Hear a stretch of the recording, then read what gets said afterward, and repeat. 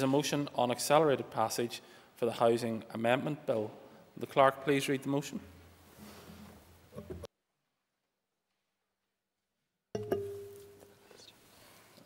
That the Housing Amendment Bill proceed under the accelerated passage procedure.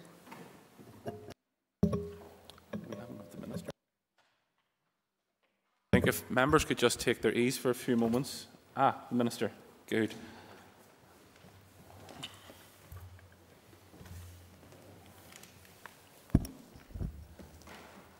I call the Minister for Communities, Mrs Deirdre Hargey.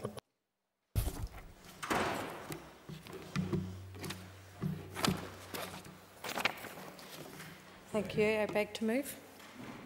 Thank you. Business Committee has agreed that there should be no time limit on this debate. I call upon the Minister for Communities to open the debate on the motion. Minister. Thanks very much, and just thank you to everyone in the chamber. I suppose I welcome this opportunity to address the Assembly today on this motion. And for the legislation, there are compelling grounds for the use of accelerated passage.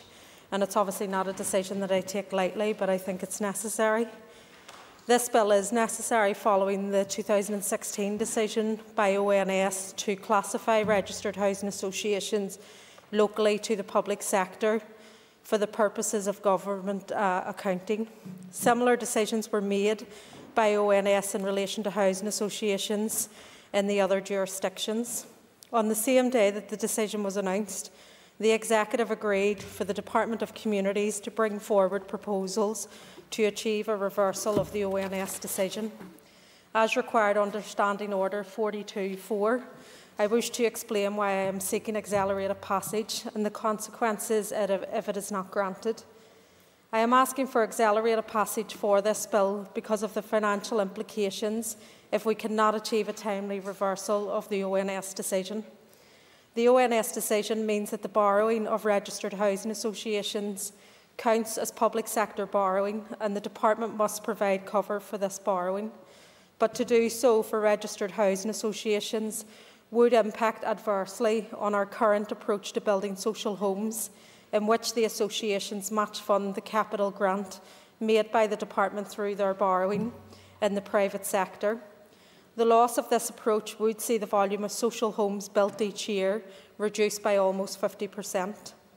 The British Treasury have allowed a derogation in relation to accounting impacts of the ONS uh, decision, but this is contingent on our doing what is necessary and as quickly as possible to facilitate a reversal of the ONS decision.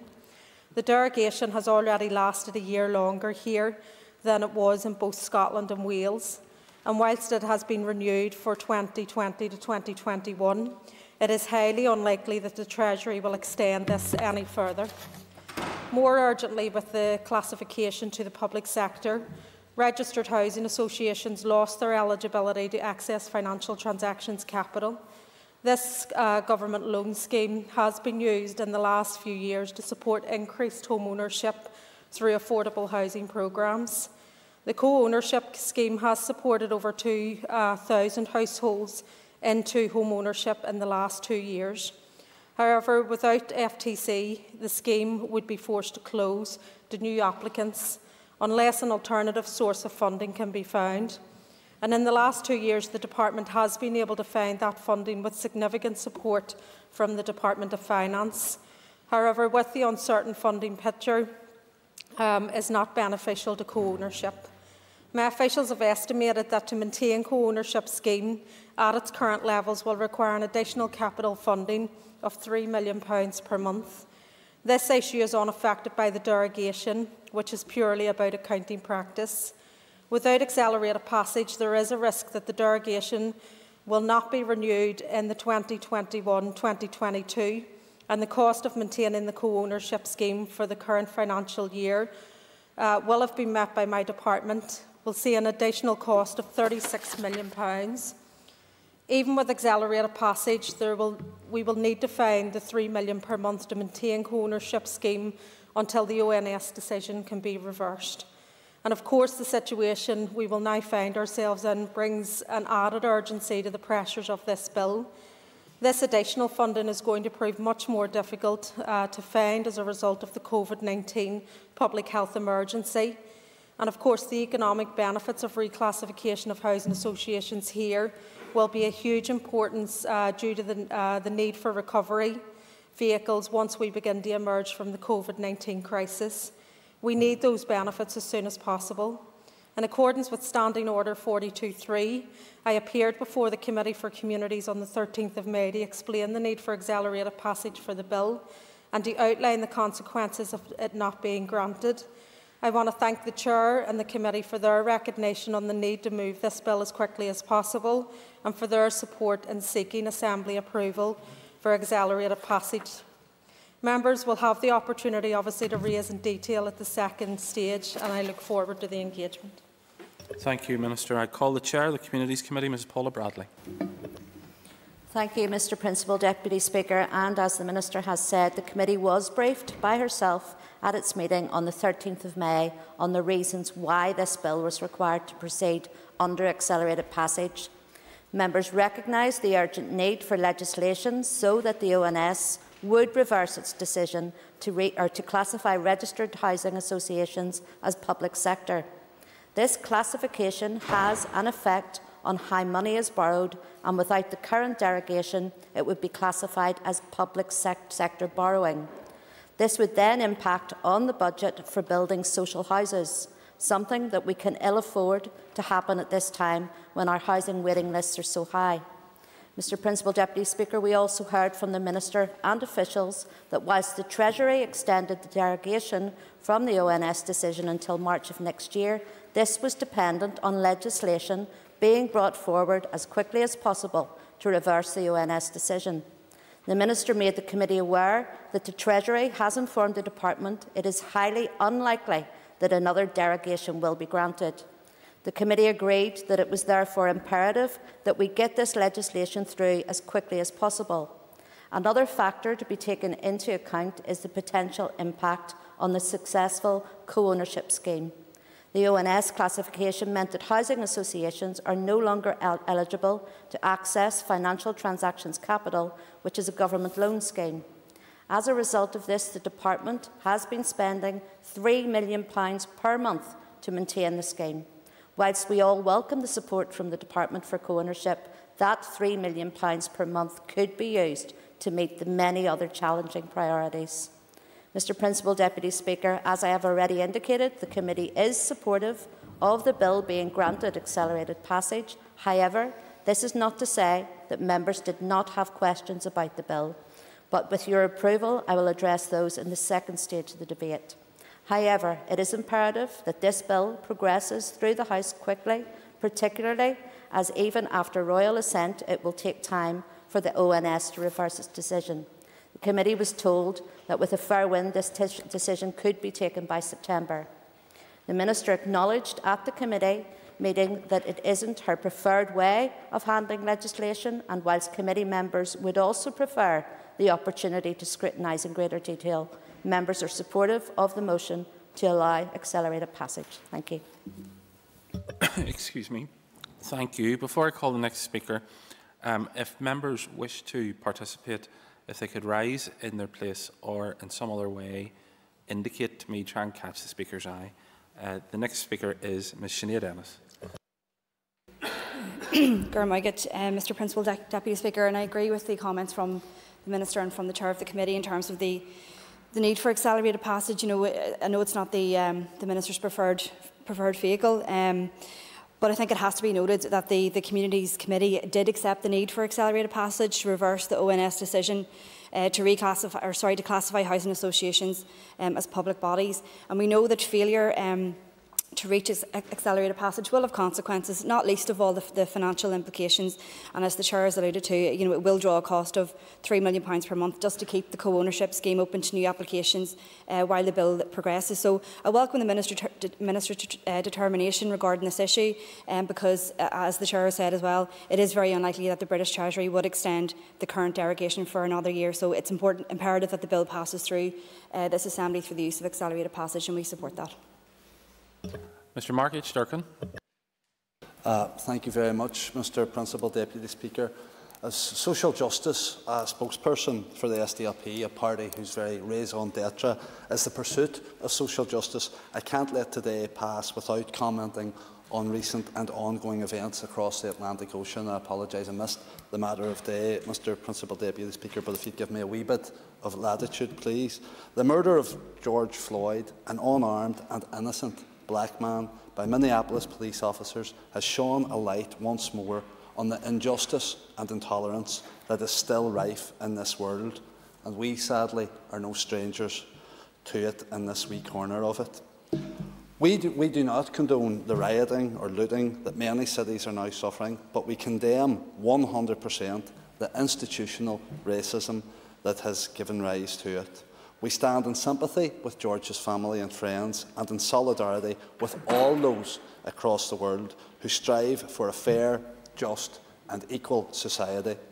We are motivated to do all that we can, Mr Principal Deputy Speaker, as leaders here to eradicate injustice in our community. One area where injustice does remain here is in housing. Today, in 2020, thousands of families and individuals suffer homelessness and housing stress. We have a duty, statutory and moral, to provide homes for these people and the legislation that we will debate today, the Housing Amendment Bill, is an essential tool to enable us, through housing associations, to build and provide more social homes.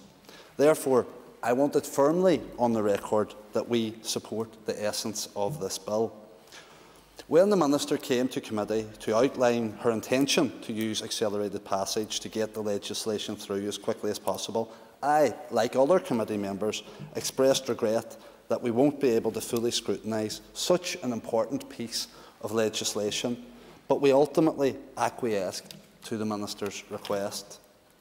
Over the weekend, however, I have given this a bit more thought. In order to ensure that ONS reclassification of housing associations is reversed and realise the huge social benefits that it will bring, as well as the significant financial benefit to the Executive, the legislation needs to be in place by the 31st of March 2021. That's the 31st of March 2021. Are we saying that it is beyond our ability, that it's even beyond our ambition to get this bill through the normal legislative process by then? Consultation has previously been done on the right to buy elements within the bill, but then apparently disregarded. We as a committee have received a briefing from the Minister and her officials over the phone, and that's no fault of the Ministers or her officials or the committee, but we haven't had a chance to get evidence from or question the sector. We haven't even received an opinion from the Northern Ireland Housing Executive. The Minister, the Executive, has a job to legislate. We as committee members, we as MLAs, have a job to scrutinise. And this bill has aspects that certainly warrant further examination and consideration, and we'll touch on them as the debate moves into second stage. We need to get it right to maximise its benefit to the people that we are paid to represent. I don't want us to take the time to unpick the bill. I want us to take time to improve the bill. I apologise to my chair and fellow committee members and to the Minister for not making this case more strongly at committee, but I do not think that we can use the COVID-19 crisis as cover for merely rubber stamping uh, far from perfect legislation. We weren't here doing our job for three years, Mr Principal Deputy Speaker. Let's do it properly now, so we won't be supporting accelerated passage. Thank you. I call Mr Andy Allen. Thank you, Mr Principal Deputy Speaker. And has, as has been outlined by the Minister, indeed my committee colleagues, uh, the rationale and reason for the requirement of accelerated passage, and I'll not uh, rehearse those arguments. Um, social housing is, is indeed an essential necessity for many people across um, Northern Ireland, and many unfortunately don't have the ability to access social housing. Um, and any detrimental impact to the ability to build social housing would be totally catastrophic So with that in mind, and indeed the mitigating circumstances, and, and I do believe COVID-19 does play a huge factor in this, in taking this bill back to ONS and going through the various different stages with them, we will be supporting accelerated pas passage. Thank you, Mr Principal Deputy Speaker. Thank you. Um, no other member has indicated to me uh, that they wish to speak at this stage. So before we proceed to the question, I would remind members that this motion requires cross-community support. The question is that the Housing Amendment Bill proceed under the accelerated passage procedure. All those in favour say aye. aye. Contrary, if any? No. All those in favour say aye. aye. Contrary, if any? No. Okay, clear the lobbies. The question will be put in three minutes. I would I would remind members that we should continue to uphold social distancing and that members who have proxy voting arrangements in place should not come to the chamber. The House will divide. Order. Members will resume their seats, please. Before I put this question, order. Before I put this question, I would again remind those members present that, if possible, it would be preferable to avoid dividing the House. The question is that the Housing Amendment Bill proceed under the accelerated passage procedure. All those in favour say aye. aye. Contrary, if any? No. Do we have tellers?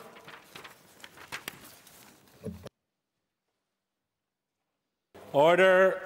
Order. Tellers have been appointed as follows. The tellers for the ayes are Mr Colin Gildernew and Mr Jonathan Buckley. The tellers for the noes are Mr Mark Durkan and Ms Sinead McLaughlin. Before the Assembly divides, I want to remind you that as per Standing Order 112, the Assembly currently has proxy voting arrangements in place. Members who have authorised another member to vote on their behalf are not entitled to vote in person and should not therefore enter the lobbies. It is important that during any division, social distancing in the chamber continues to be observed. In order to facilitate this, I would ask the following. Any members in the chamber who are not due to vote in person should consider leaving the chamber until this division has concluded. Those members who wish to vote in the lobbies on the opposite side of the chamber to which they are sitting should leave the chamber via the nearest door and enter the relevant lobby via the rotunda. Those remaining members who are sitting closest to the lobby doors should enter the lobby first, and any member who has voted may then wish to leave the chamber until this division has concluded. I remind members of the need to be patient at all times and to follow the instructions of the lobby clerks and to respect the need for social distancing. Clear the lobbies, the Assembly will divide, ayes to my right, noes to my left. Order. Order. Could I ask members to resume their seats, please?